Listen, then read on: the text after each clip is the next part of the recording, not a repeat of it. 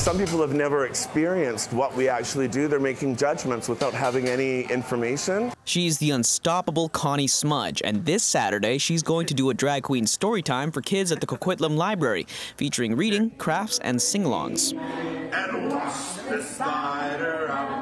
But people are set to protest her event. People who Connie says have made threats, saying her presentation will sexualize or psychologically harm children. Sexualizing children is not what we're about. We're about to we're about creating an all-inclusive space where everyone can be themselves. Despite the hateful comments she says she's been receiving, Connie is still going to show up to the library, extending an open invite to all supporters who want to join her.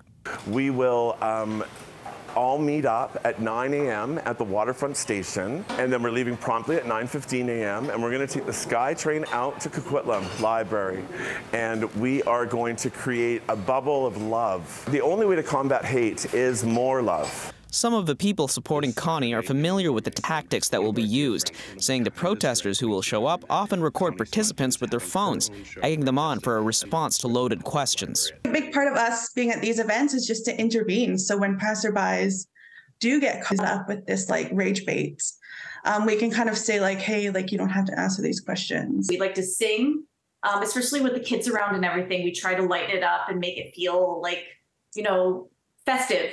Coquitlam RCMP Corporal Alexa Hodgins says in a statement, police are aware of the event and will respond to any calls for service as necessary. Connie hopes the protesters will stop and listen. I always believe that it's hard to hate up close. So yes, you can read online, you can do all these things, but when you see who I am and you feel my energy and the energy of everyone there and what we're trying to create, that's what I want them to take away. Just look at us and see what we're doing. Don't make the preconceived notions and judgments of what they think we're doing.